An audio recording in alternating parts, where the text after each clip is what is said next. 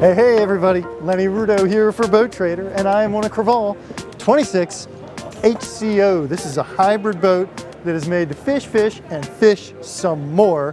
And I'm loving what I'm seeing right here. Come on over here and check this out. Right behind the leaning post, we got cutting boards, we got a sink, we got stowage, tackle boxes, and more tackle boxes, and the slide out tray for a cooler underneath. What more could you want? I'll tell you what more you could want, because it's right here. How about a big giant 28 gallon live well? Oh, wait a second. 28 gallons, that's not nearly enough. Let's have another 28 gallon live well.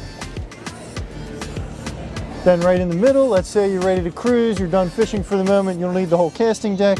Boom, up comes this. You got a nice big bench seat and you got a cooler underneath. And you want to talk about a smart use of space. You got extra stowage in here. And on top of that, hook knife plier holders right along the side of the console. Now, what do you think's under here? Let's see. Another live well? Yeah, another live well.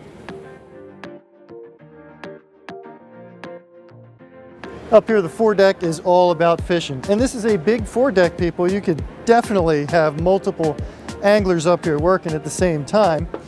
And underneath, it's all about storage. Storage, storage, storage. You got rod racks in the side box here, open storage in the center, tons and tons of storage. Love how these hatches are fully finished on both sides. They're gasketed and they're on friction hinges so they stay up. Hey, is the Crevalle 26 HCO the right boat for you? That's a question I can't answer, but if there is a relatively large hybrid bay boat in your future and you're all about fishing, hey, this is definitely one that you want to check out.